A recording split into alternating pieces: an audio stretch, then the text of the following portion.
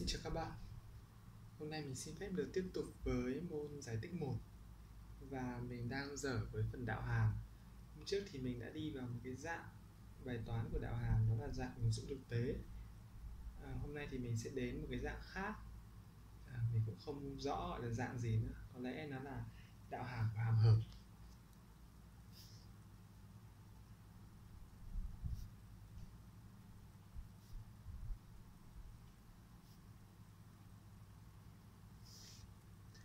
À, mình sẽ đi vào ví dụ luôn. Ví dụ số 1 ta có một cái hàm số như sau. X trừ 1 nhân x trừ 2 nhân cho đến x trừ 2009 và nó bắt mình tính y phẩy tại 1 ok. À, ban đầu thì mình thấy câu này một câu cực kỳ phức tạp mình đoán là có một cái trick gì ở đấy. Thì đúng là nó có trick thật, nhưng mà cái trick này nó không khó như mình tưởng. Mình sẽ coi như đây là dạng UV đây là U và đây là V. Mình sẽ đặt tên cho nó luôn nhé. Đặt là U lớn và V lớn đi. Đương nhiên, y phẩy sẽ là đạo hàm của tích, thế nên là mình áp dụng đúng công thức thôi. U phẩy V, U phẩy là bằng 1 V là là V cộng với u nhân với v phẩy. Và các bạn có thể thấy là dù v phẩy nó ra cái gì đi chăng nữa ấy, thì bởi vì là tôi tính y phẩy tại một cho nên là cho nên là cái thằng này luôn luôn bằng không. Đó vì mình tính y phẩy tại một nên thằng này luôn bằng không chẳng cần quan tâm đến v phẩy nữa. Và chúng ta chỉ quan tâm đến v thôi. Thế nên y lúc này chỉ còn là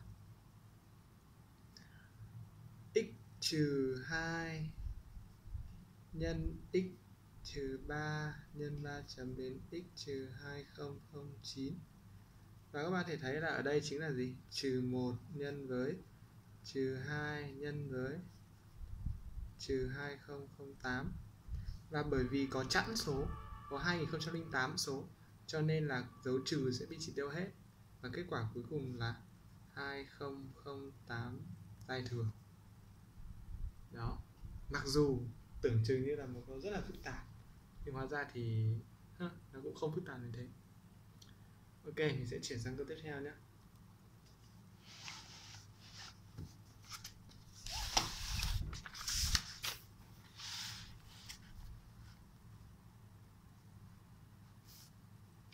Câu tiếp theo. Y bằng 2 cộng x nếu như mà x nhỏ bằng trừ 2 2 cộng x nhân x trừ 3 nếu như mà trừ 2 nhỏ hơn x nhỏ hơn bằng 3 bằng x trừ 3 nếu như mà x lớn hơn 3 đương nhiên là mình cần phải tìm, y phải nếu ta chỉ xét những cái khoảng là x nhỏ hơn trừ 2 x từ trừ 2 đến 3 và x lớn hơn 3 thì cái việc tìm đạo hàm nó khá là tương tự.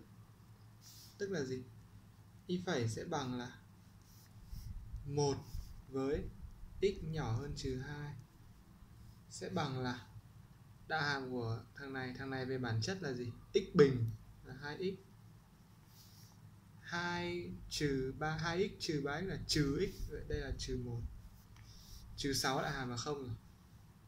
Với trường hợp này là trừ 2 nhỏ hơn x nhỏ hơn 3 và bằng 1 với x lớn hơn 3 ở đây thì chúng ta chỉ lấy được những cái không có dấu bằng thôi. Chỉ tính đạo hàm trên khoảng thôi. Vì sao? Bởi vì là tại cái hai cái điểm, đặc biệt là điểm trừ 2 và điểm 3 ấy, thì bên trái và bên phải của nó là khác nhau. Chứ vì vậy mình phải xét riêng hai cái đạo hàm tại trừ 2 và tại 3 xem xem, ở tại đó thì có tồn tại y phẩy không. Nếu mà tồn tại đi phẩy thì chúng ta sẽ lấy, còn nếu không tồn tại y phẩy thì chúng ta sẽ loại nó đi. Thì khi nào thì ta biết là ở đấy tồn tại đạo hàm hay không? Có tồn tại đạo hàm tại trừ hai và tại ba hay không? Thì mình sẽ tính đạo hàm theo định nghĩa. Đạo hàm theo định nghĩa là gì?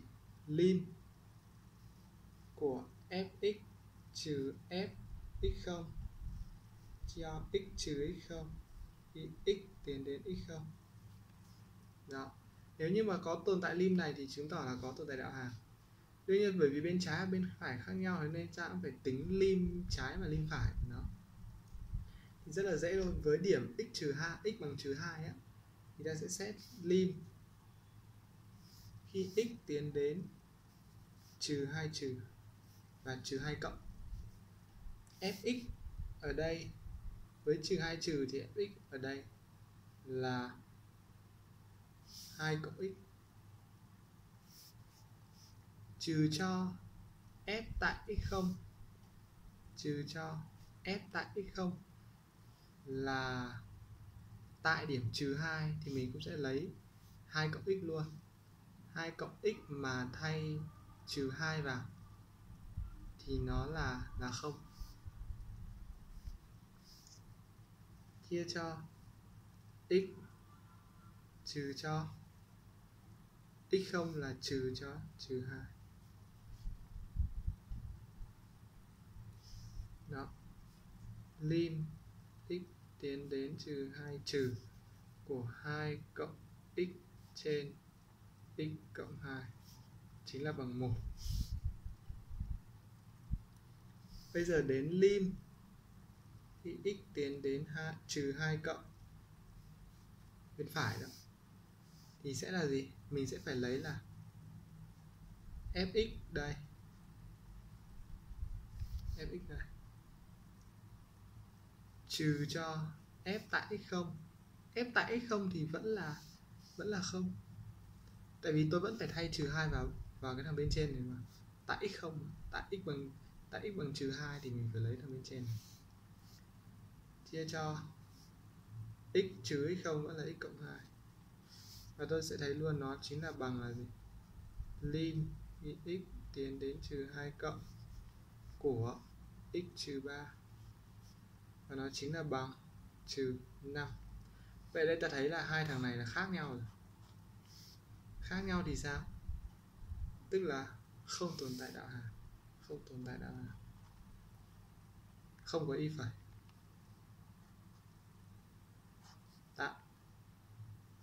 Trừ hai. Bởi vì đạo hàm trái đạo hàm phải này là khác nhau. Ừ, nếu như có sơ sót gì trong lời giải thì các bạn cứ comment nhé.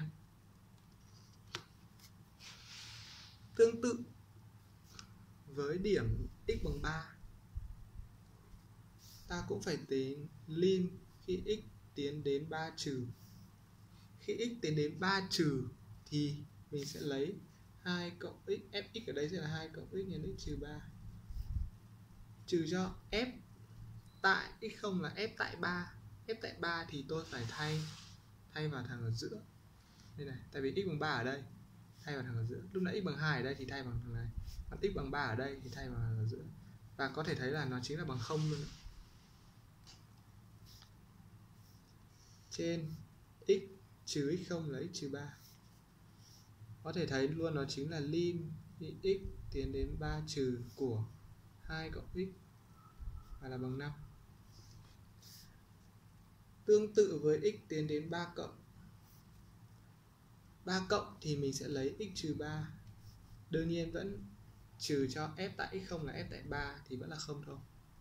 Trên x trừ 3 và đương nhiên nó chính là bằng 1 rồi. Rõ ràng rằng khác và cũng suy ra không tồn tại. 7 tại 3 do đó cái y phẩy của chúng ta ấy, thì chỉ lấy được đáp án là như thế này thôi. Chỉ lấy được đáp án đây thôi. Trong trường hợp mà cái này nó tồn tại tức là nó bằng nhau nó tồn tại thì tôi có thể lấy được cả dấu bằng nữa. Đó thì đấy là sự khác biệt. À, hy vọng là không có sai sót gì và hy vọng là sẽ đã giúp đỡ được các bạn trong quá trình học tập. Ừ, nếu có thắc mắc gì thì các bạn cứ để ở phần comment nhé. À, hẹn gặp lại các bạn trong các video tiếp theo. Ok.